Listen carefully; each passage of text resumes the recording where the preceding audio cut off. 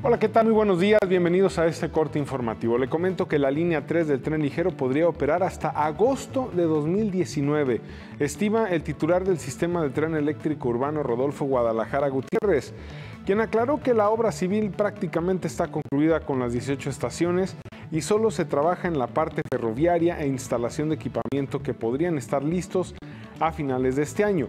Y será hasta 2019 cuando comiencen o continúen las pruebas finales y definir el tema administrativo para su puesta en marcha. O sea que va para largo.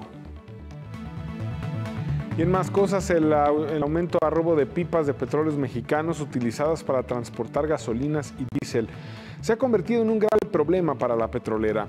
Entre 2016 y agosto de este año, grupos delincuenciales han despojado a Pemex de 25 unidades, lo que significa una pérdida estimada de 4.5 millones de dólares. Las pipas robadas son utilizadas por el crimen organizado para transportar hidrocarburo sustraído ilegalmente de ductos del presa a través de tomas clandestinas.